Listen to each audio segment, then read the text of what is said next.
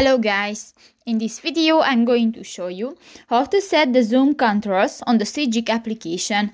But first of all I just want to mention please don't forget to subscribe to our channel because at 100,000 subscribers we are going to show you our YouTube revenue statistics and growth strategy how to make money online. So let's jump into it.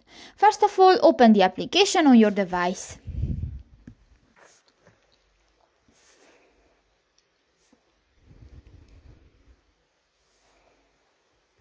New, click to the three lines at the upper right corner of the screen and click to the settings icon.